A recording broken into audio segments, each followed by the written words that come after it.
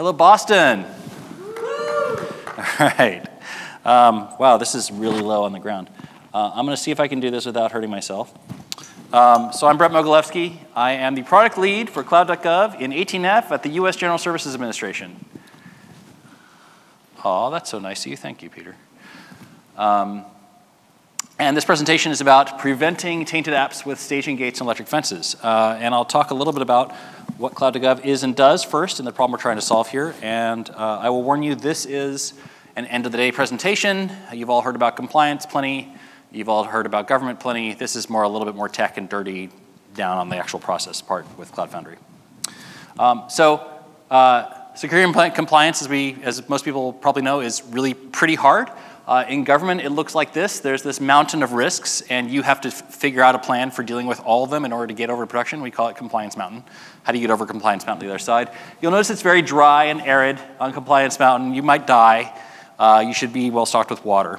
Um, so the question is, what does Cloud.gov do, and why does it exist? And the goal is to take Risk Mountain and shove as much of it down into the icy cool water and leave you with a nice, cool, plenty of water thing at the top there that sticks above um, so you can basically, you know, delegate most of your risk management down below the surface, and what remains is something that's actually tractable. We've made a mountain into, well, not a molehill, but the tip of an iceberg. Um, now, that seems really awesome, and uh, who wouldn't want to concentrate all their effort into the thing that actually delivers the value, which is a small part of your mountain? Um, well, what we find is that a lot of CISOs don't see it that way. They look at the value and they see risk. And the reason they still see risk is because it's their risk and we're, we're putting them on the spot. Um, you know, the, Cloud Foundry is a very self-service platform. Uh, you can get things to production very, very easily. And so now it's like, okay, well now we have this rapid ability to do something, something remarkably technical, but there's this responsibility left on us. Um, and they get very concerned about that. And so you might ask, well, why? Why, why are they so concerned? Um, so what happens is now we've enabled them to not require a whole bunch of teams with a whole bunch of different expertise and a bunch of handoffs, but just even a really small team to actually deliver a project end to end. And so they're, you know, they're concerned because, well, okay, so now our, our scope is down to just that, but those dev teams are now DevOps teams. They're supposed to be handling the whole thing, and they have to do things that normally there are very tight controls on. They don't usually have that, that easy access to production. So um, they want us, they want to see, you know, we want to see that those dev teams will prevent CVEs from shipping in an app. They want to detect CVEs that are already out there or new ones that are discovered. And they want to make sure that if a, an app is compromised, that it doesn't hurt the customers of that app or the organization as a whole, reputationally or operationally. Uh, that's, that's a big concern. And um, you know, it, government compliance is complex, and the idea that any one person in any one dev team who's just eager to make it, make you know, the the the impact by getting something to production, they're not necessarily going to have all these concerns in their head, and so they're worried about delegating that responsibility to them.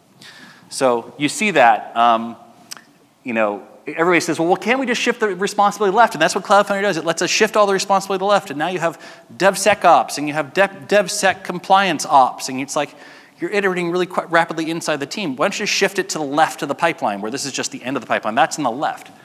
Um, but a lot of organizations are not in shape to do that. And they might be looking for a platform earlier, than, and the platform is an enabler for them to do the stuff on the left. But you have to be ready for the idea that they are coming to the platform before they've managed to get their actual development culture under control. Um, and it's not that they can't have control, it's not that they're prevented, but they're struggling to figure it out. And this is a common pattern in transformation, you end up with um, you know, a bunch of contributing factors, that there's not enough security and compliance expertise to go around. All of a sudden, you've made you know, really effective dev teams that need security and compliance expertise all the time because they're shipping all the time and those people aren't available. We haven't scaled up. There's not enough of them. You can't mint them quickly enough. Um, you might have either unavailable CI/CD capability because you've always relied on doing it by hand, or you've always delegated it to, to vendors or humans. Um, or you might have a process that is just not there, and you're just not, you haven't got it as a culture. Your, your maturity for actually doing CI and CD is really low. Um, you might have a low trust environment where people have, you know, not traditionally been given this much responsibility. Uh, and maybe you have a relatively transient workforce and that you have, you know, maybe vendors that have, um, things are gonna end and you're worried about what, what happens after they leave and that we have a problem. Uh, or you're worried about people who are on a term appointment and they have to rotate out of where you are. And so you're maybe having a lot more concern about contingency planning for losing people, not technology. Um, and in general, this is the case across the government, very low tolerance for risk, right? We always used to joke when we started it's like, there's no such thing as FISMA jail. Like nobody's ever gone to jail for, for you know, a FISMA violation. But the reality is FISMA is there to squeeze risk out, right? And the government is really, really, I won't say allergic to risk, but it's very concerned about it. Um, you know, we talk about, you know, front page of the Washington Post, but think more about like people's taxes going to the wrong place, right? Their tax returns going to the wrong place. Or think about, you know, people's locations being, you know, there's all kinds of different things you can do, a census data, all kinds of things. So the government does not have a, lo a lot of tolerance for risk. So as a result, when you have sort of this institutional need for this, it gets cemented into laws and regulations and bureaucracy in your organization and so on. Um, so Cloud.gov is actually a shared service offered to multiple agencies. And for that reason, we can kind of take care of the bottom of the zipper, the, the, the platform, or like the, the right end of that pipeline, and zip it left. But we can't help every agency go through that transformation journey on their own. Uh, there's nothing we can do at our level. It has to come from the top of their organization down. They really have to tackle this as a first class problem inside their organization. The technology or the availability of the service is not going to do it. It's just an aid. So um, we have to kind of deal with that. And so we, we get a lot of people who are reluctant to use Cloud.gov for that reason. Um, but their question comes back. They basically say, okay, assume my process is leaky and something's gone wrong. I want you to basically, the platform is like the gate of last resort.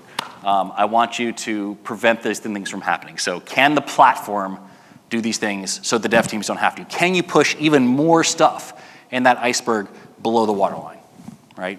You make it even a smaller hill? So hence the name of the talk. We have your, your staging gates. Uh, you, you, you must be this tall to ride, and if you're not tall enough, you can't get over it. And if you're in the wrong place and you touch the electric fence, you're out of there, right? Um, this is, uh, I have no idea where that came from, but this is Jurassic Park. So, um, so we took a look at it and we said, okay, well, this is a common need. Everybody's got this need in Cloud Foundry. This must not be that hard, right? And um, it's a little bit of a surprise. So I'm going to tackle that third one first, which is um, preventing the use of compromised apps as a foothold.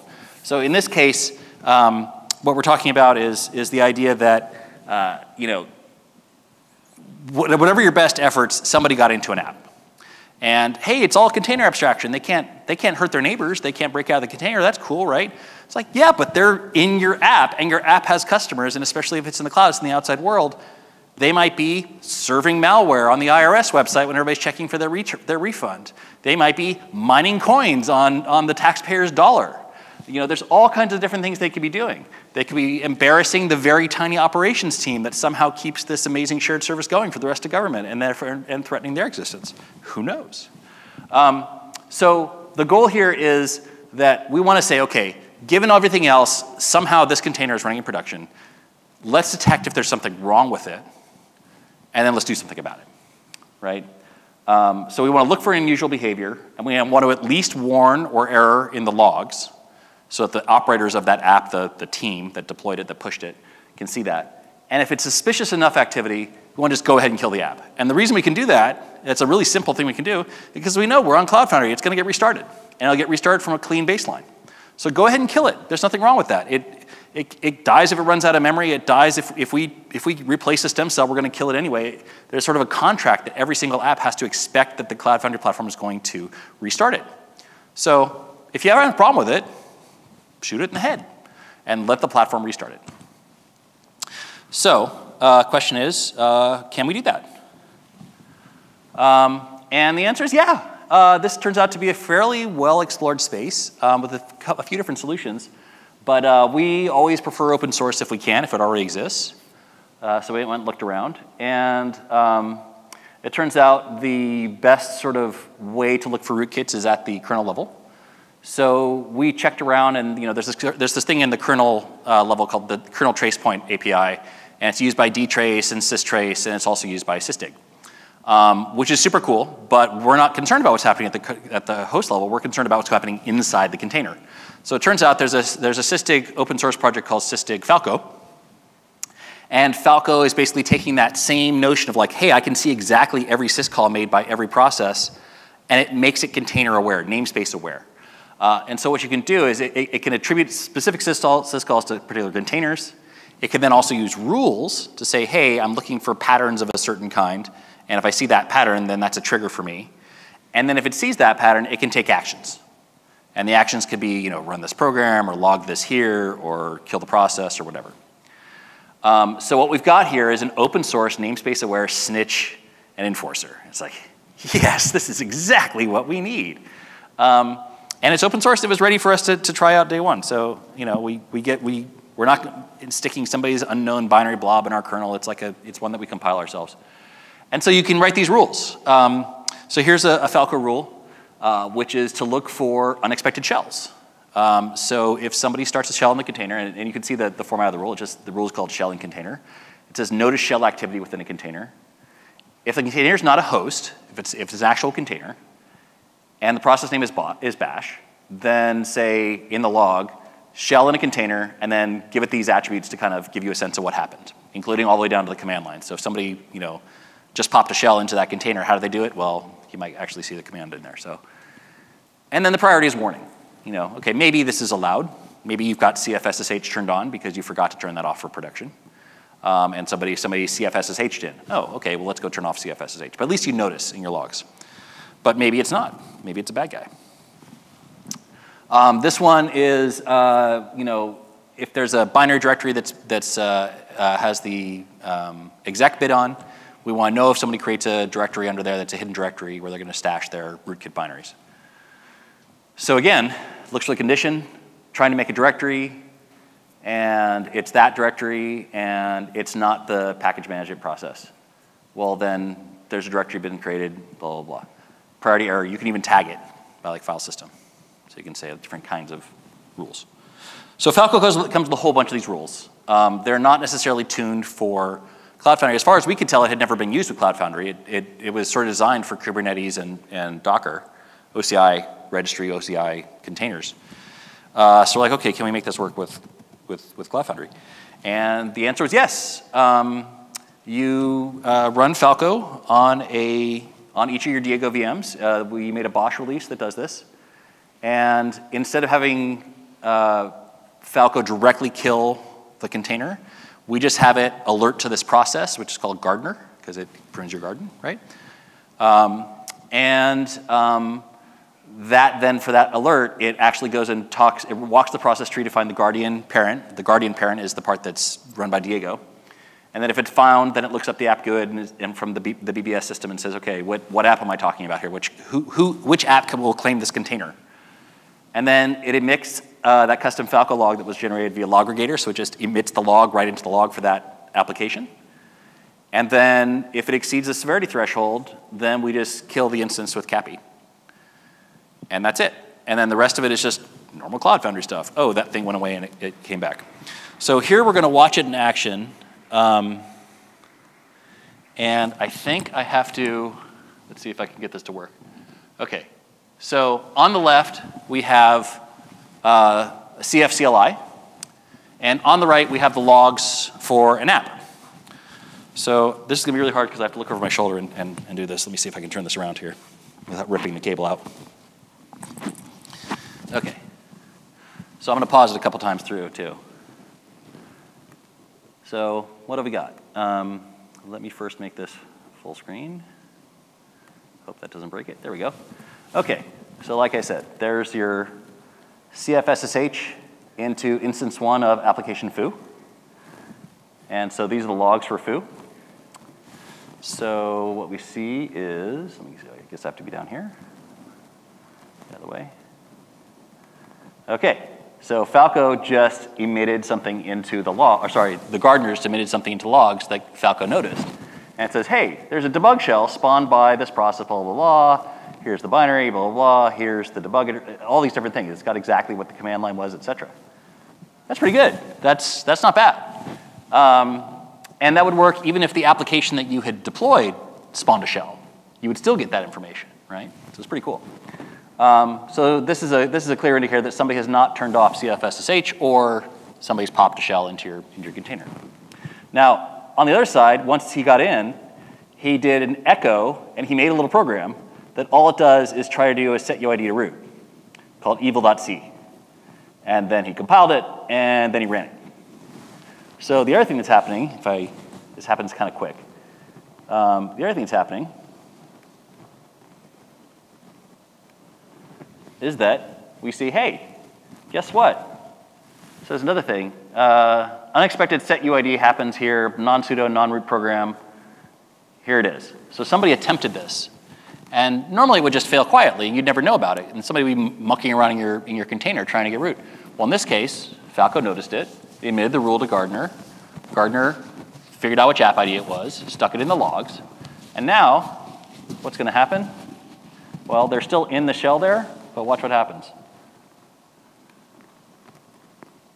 Oops, failed. Error, whoops, didn't want to continue.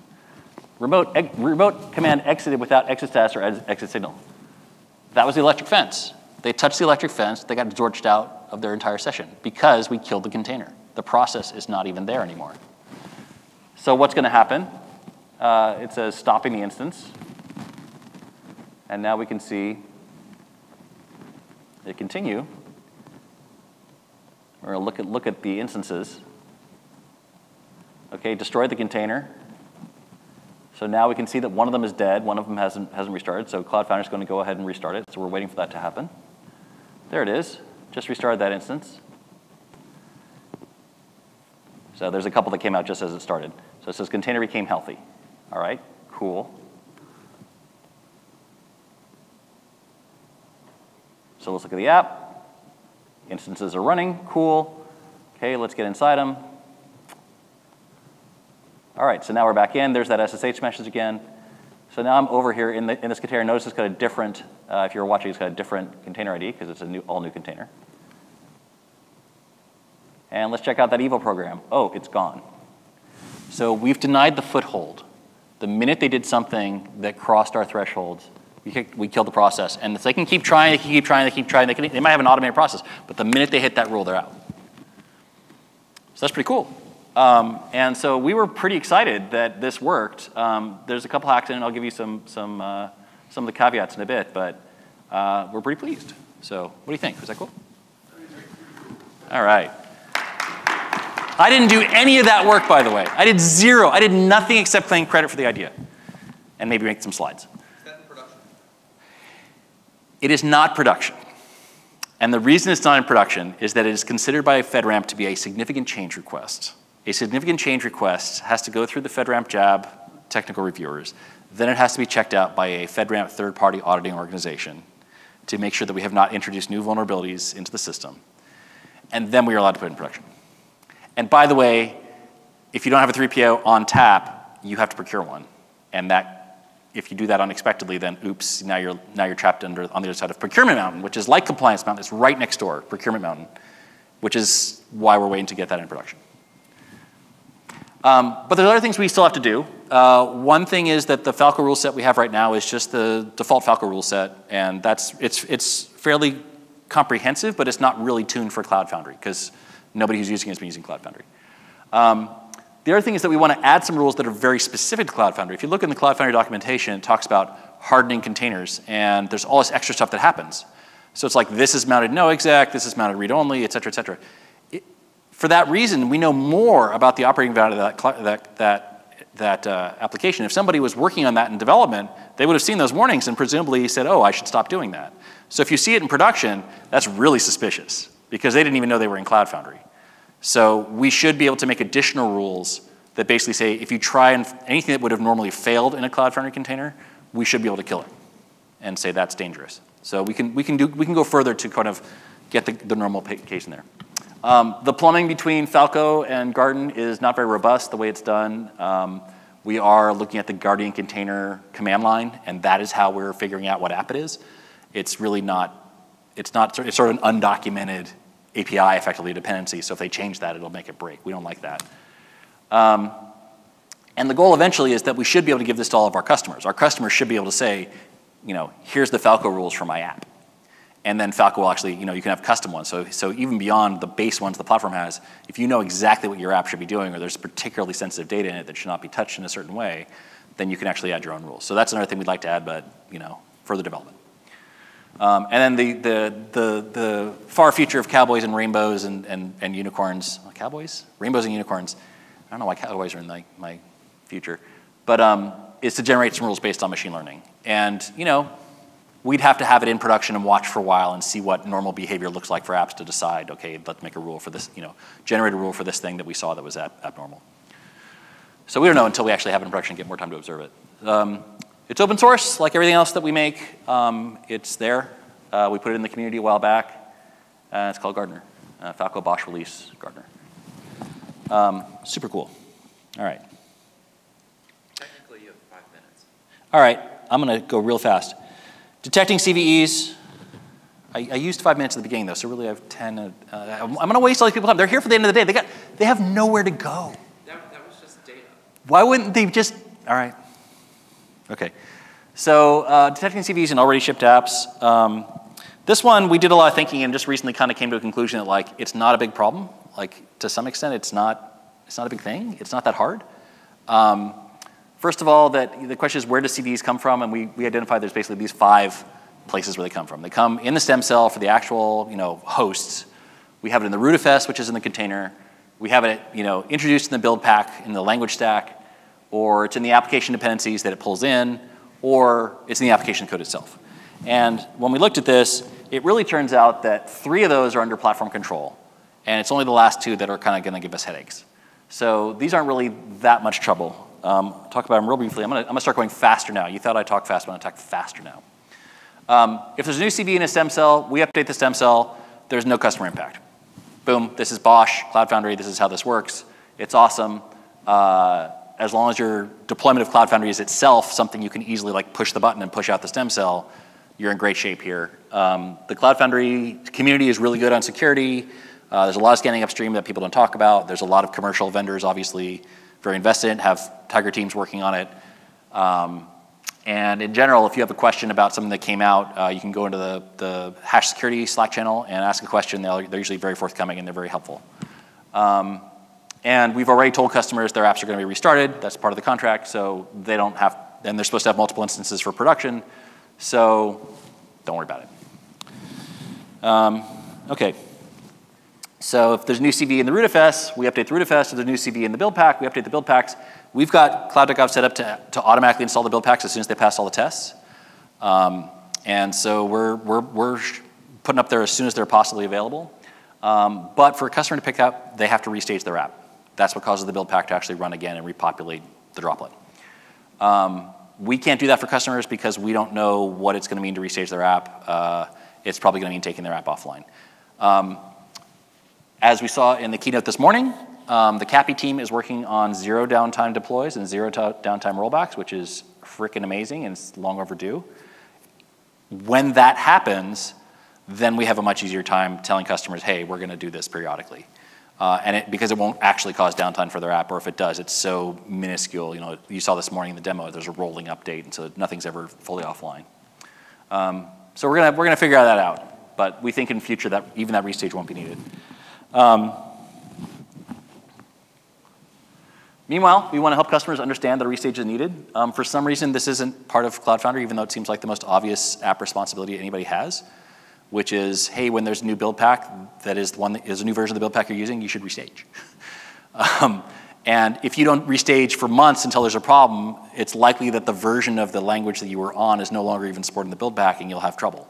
So you'll be in trouble and have trouble deploying. So you should always be restaging pretty routinely whenever a new build pack update comes out. So it's a really simple job, uh, build pack notifier, and all it does is it says, hey, um, you know, by the way, we typically do this. This is just a template from the repository. You can edit it we typically do this. It's your responsibility. Uh, we don't want to cause downtime. You should do this your next, next occasion. Here's where you can find out more information. Thanks. You're, you know, security is everybody's responsibility. Um, and this knocked down the number of people running on obsolete build packs to like near zero on our platform. So this, this really worked very, very well. So it turns out people will do the right thing if you just remind them that it's necessary and tell them. They don't read release notes, but they do read their mail. So. Um, what about CVEs appearing in application dependencies or code after they're in production? This turns out to be pretty easy. All you're doing is do is scan the droplets in your blob store. So you can do that. We, we didn't consider this challenging, but we didn't actually do it yet because like that's not where the tough part was. Tough part is uh, this other part, the application dependencies, which they're going to pull in, which might involve a piece of vendorware or something that they grabbed off a binary stash somewhere on the internet, or maybe their application code. Now, the application code, presumably they're going to they're not going to ship it with the CVE because the CVE hasn't been named yet. It's their code, right? If the CVE appears in their code, it's going to be after they ship it. So that's, we're less worried about that. But again, the application code itself might contain things based on using, you know, multiple build packs or whatever. Or they might curl out and grab something. So that, that could be an issue. So the question is, can we prevent CVEs from shipping apps? So this is, this is just, I know I'm late on time. This is a quick rundown of things we tried. The, I'm, gonna, I'm, gonna, I'm gonna blow through really quickly, but the short, end, the short story is it didn't work. And it was a bad approach. And it took us a long time to realize it was a bad approach, and basically until this week almost. Um, so first of all, are there a bunch, there's a bunch of vendors and open source projects that are already targeting the OCI build pack, for, or sorry, the OCI container format and OCI registries. Can we use those? Generally, no. Most of them don't, the momentum around the OCI build pack format and the things done with Docker and Kubernetes and that, that um, community momentum is a lot of people thinking about these issues are not thinking about, and then software supply chain have not been looking at Cloud Foundry. And so a lot of them either don't have native Cloud Foundry support, or if they do, it's very rudimentary. Um, and I'll talk a bit about what rudimentary looks like in a minute. Um, what about doing a custom build pack? Uh, I noticed when I was doing some research, the Node.js build pack, if it finds Snyk variables, environment variables, it will actually go run Snyk as it deploys the, as it does the Node.js build. Um, it's cool, but it's only the Node.js build pack does it, and not any of the other languages and it doesn't have any kind of hook for any other vendor or any other thing you might want to put in there. It's like it's it's kind of bad coupling and that it's you know it's all kind of mashed into one thing. Um, and if you want to do that, you have to if, if it's not something that gets into the upstream, you have to make, maintain, and build and force developers to use your own build pack, which is messy. Um, so it's much more effective to decouple. I put in an issue to say this is the bad place for this, and they seem to agree, but it's not resolved. Um, what about the new build, multi-build pack support? Um, well, if your scanning build pack is the last build pack in the chain, that's a problem because the way Cloud Foundry works right now is that the start command is only paid attention to in the last build pack. So you've accidentally blown away their start command. That's no big, that's not good. Okay, well what if it's the first in the chain? Well, at that point the other build packs haven't run, all we have is the code, the dependencies file. So it's good if you're, if you're like using Snyk or using you know, libraries.io or one of these other tools that is going to look at the dependencies, that's fine. But ultimately, you still don't know what's actually going to be in the, in the shipped code. It's not, it's not really the final product. So um, what about the meta build pack? Uh, the meta build pack is a build pack that runs a bunch of other build packs and then does a bunch of decorators. And it seems really cool. But number one, developers aren't required to use it. It doesn't work with multi-build pack uh, and the new build pack formats, and it doesn't work with manifests, and it doesn't work with CF push-B. So it's severely compromised in, in terms of the, the, the occasions in which you can use it. But much more importantly, it is incompatible and deprecated, even though the repository doesn't say that. So if you're tempted to use the meta build pack because it looks cool, don't do it. And I, don't, I, I put in an issue to say, can you please deprecate this repository because this is broken. Um, I will say, one vendor at the show that I talked to is relying on the meta build pack. So this is why I think that this is a leaky abstraction. It's not working very well, and it's not well communicated. And that comes to one of my conclusions in a minute. And it, that's this. This is all voluntary. We're still relying on developers to pick the right build pack or the right build pack to be run. Can't I force it on them? And the answer is, well, yeah, you could hack Diego to say, okay, whatever build packs they supplied, add this one on the end and run that as well, but then use the other one to start. Like you could hack it in Diego, but it's like, now you're, now you're forking Diego. Do you really want to fork Diego? And for us, especially to be certified, it's like we need to be able to use the correct extension mechanisms that are built into Cloud Foundry. We don't want to do things that are different. So um, we don't want to do that. Okay, so now we're at the end of the blind alley. Now you know it's a blind alley. Here it is. It turns out you can just upload a droplet. you don't have to use the build pack path at all. You do it when you, when you uh, use the Docker support, but it's actually in the API. That link goes to the API where it's like, CF upload my bits for this app. And the build pack chain is completely skipped. So if you're trying to do this in the build pack chain and trying to get developers to use it, there's these big gaping holes that, and, and ways around it. So it's not, it's not a central kind of choke point, which is what the, the person who would, who would want this functionality actually wanted. So, and also Docker containers have the same issue. So here's, the, uh, here's, here's what you end up with. It might be good for them, security is good for them, you want them to use it, and you think they want it and they all want to do the right thing, but it's like this poor person trying to force feed a cricket to this frog. I don't want it. Fine, I'll take it, but I won't use it. it's not my thing. So after all this, all this sort of brainstorming at different ways to approach this with build packs, build packs are the wrong thing. So what do we actually want? Um, sorry to waste your time on it, but I thought it was worthwhile to think about build pack things. Um, we don't actually care how people build their app, we care what they're shipping. So we have to look at the droplet. We want to look at the droplet after it's uploaded, before it's actually scheduled by Diego. So we want a validator hook where we can say, okay, hey, you just told me a droplet was uploaded. I'm gonna go check it out before you run it, please. Just hang on a sec. Um, and then that ideally would be something we can say per org, per space, or per the entire deployment of Cloud Foundry, so our customers can actually decide it. So that's the feature we want, and something we'll, you know, we haven't looked too closely at the V3 API. It seems like it might be better for this. There's actually a better place to put it than the CAPI workflow, um, but we haven't checked. So uh, we're gonna check the CAP, and if the CAPI team hasn't already done it, we're gonna try and get it in for V3 because it's desperately needed. Um, so Another option is this deployed active, which if you saw the keynote, you know that about. That's, that's a weird one where it's like production and staging are completely separate cloud foundries altogether. Um, so they're just scanning it after it's in production, which is the staging cloud foundry, and then after it passes there, then they deploy it in the production cloud foundry. Okay, that's a way to, that's a way to approach it. Um, it was new to me, and I hadn't thought of it, so that's uh, something maybe worth checking out. Um, so how do we do? Prevent CVEs from shipping in apps. I mean, you know, we can definitely um, the scanning hole is a problem, and the fact that Cloud Foundry, if you're using it in the right way with the right extensions, there is not an affordance for doing this easily, as far as I can tell. I mean, I might be wrong, because, you know, I'm just a dude. Um, CVEs already shipped in apps, pretty easy. Scan your droplets, keep your, keep your stem cells up to date, notify your users when, when there's a new build pack and rootfs. Uh, preventing use of compromised as a foothold, yes, we can totally do this. And it's not even that intrusive. It's, it's, it's nice. The only thing is that command line inspection thing. Um, so the takeaways from here, uh, we are missing out on community and vendor tooling in that area.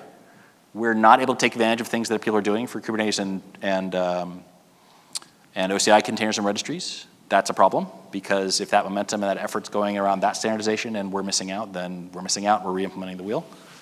Um, and there is no good expansion point for doing this yourself. Um, so we need to actually fix that. Um, it's not as big a problem as CISOs think. People have a lot of doubts because this open source upstream and like what's going to happen. And you just got these open source stem cells and how you know what's going on. If you look at the track record, they're really good. Um, so part of it is just convincing your CISO that like, no, no, look at the actual track record. How long are vulnerabilities live and you know what's actually happening here. Um, and then the other thing is that very small changes can improve user behavior. If you just give a user a cue like, hey, you have a responsibility, is it time, it's time for you to, to do, your, do your thing, they will actually change behavior, so that's good. And the other part is open source is great. We got to this far, like doing all this with open source. We didn't have to talk to a vendor. We didn't, like we got to do all this experimentation. It was a lot of fun and really cool. Great thing about the Cloud Foundry community, the Cloud Foundry tech. Um, you know, the fact that Sysdig had Falco open source is great for us. Like it's been, and the fact that we're able to publish this open source is great. So open source for the win. Um, and your pull requests, welcome. Uh, that is it. And if you have any questions about this talk or cloud.gov, because I kept you too long, uh, you can direct them to cloudgov inquiries at gsa.gov, or I am B. Mogilefsky on Twitter. Um, pretty easy to find me. And that's it. If you've stayed this long, you're eligible for a valuable prize. Um, so yeah, any questions, any comments, any feedback? Any advice? Do we miss something? I don't know. We got to talk to the CAPI team and see if they're open to it and what's going on. Does anybody know? What's in, I don't know anything about V3 API. I haven't looked at it. Yeah, I, I think we have to figure out, it, it, might be easy to do or it might be hard and it depends, and it depends on how far they are along to, stand, to uh, locking the V3 API. Any other questions? Uh, I noticed that you looked for suspicious activity and then killed it. I'm wondering if you explored just always killing things, or in addition. We haven't. Um, we thought about it. Yeah, this sits out of the mic up. Um, the question was, uh, have we thought about just killing it on any suspicious activity rather than like making a judgment call and then killing it? Um, we've thought about it, but until we have it in production and see what kind of alerts actually come up and how, how often things actually are being killed and how many of our customers are not actually running multiple instances as they should, you know, we want to make sure that we do it safely first. So we want to kind of run it in production for a while, just logging, and get everybody used to like, this is what you're going to see. And then based on that, we can tune the rules and make sure we're doing the right thing. And then if necessary, we'll just bump all the rules severity to high, and then that'll be and kill everything. Um, so yeah, uh, you can't do it before they do it. I mean, obviously it's triggered by the syscall. So until they make that syscall that's suspicious, you can't, you know, you can't predict they're going to do it. But you know, there might be there might be some interesting things. I mean, we haven't really explored that. So maybe there's some things that come in with headers or or, or things like that that we can look at that might make it as soon as somebody arrives in the container, you've already got them before they even try and run the rootkit. So we'll have to figure it out. It's going to take some tuning. We're just, we, don't, we just don't want to immediately start killing everything from everybody without knowing how much of an impact it's going to have. Yeah. Well, it's true. Um, well, ideally, like we don't like having separate cloud foundries that have different behavior. We like the, the staging and production to basically be identical behavior. Um, so hopefully they're going to figure that out in the, in the dev side before they get to production with it. But uh, yeah, that's, a, that's an issue too. We, we might be killing something based on benign behavior. Oh, that was the other thing I didn't put in future work is to be able to say, ignore this rule. So, you know, in addition to saying, here's my additional rules, you should be able to say like, no, this rule is legit behavior for this thing, let it through. There should be some way to specify that, like, you know, some, some, some uh, a file in the container or something like that.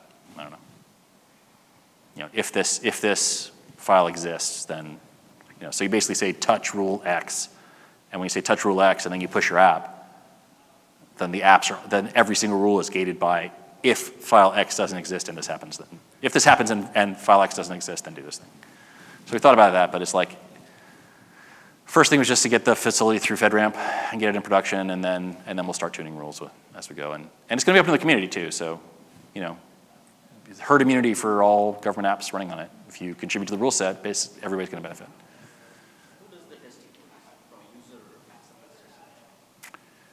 Um, we didn't really do a lot for this particular feature. Um, this one started out as what we call our innovation and planning sprint. We basically have time where it's like, hey, what about this wacky idea? Um, and then it became more important because we had a particular CISO who's like, I demand an answer to this problem because I handle this with this vendor tool X in this other environment, and I don't want to use your, your environment unless I have something with parity. So in that case, we had a very specific customer case driving it of like, I want something that is essentially syscall triggered, you know, behavior analysis. Um, so it's pretty straightforward, like what is it going to be? Um, so yeah, this one did not get what I would call like beta testing or like even a lot of feedback other than that it needs to have this capability. I don't really care how it does it as long as it does it. Um, so yeah, what do you think? Does, should, we, should we wait before we put it out to more or? I mean, what I know is like say there are applications already customers have put in production. Yeah. There should be a way that they have to be trained to ensure that they are kind of turning it off or on based upon. Yeah, and that's why, that's why I said we're going to turn it on in production first and have it just warn. Just, just log. Just log and that's all it's going to do. And then we can look at those logs ourselves and say, okay, well, who's getting, who's logging the most from this? And then we'll go talk to them and say what's going on. So that's, that's the user acceptance testing for us is, is the fact that we're not going to kill initially, is that we're just going to log and then we're going to talk to people. All right. Thanks, everybody. Thanks for staying so long. Bye.